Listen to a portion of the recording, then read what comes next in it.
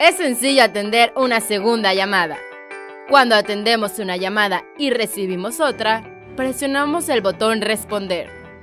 Para finalizar la segunda llamada, presionamos el botón terminar. Poli, soluciones en video, voz y contenido.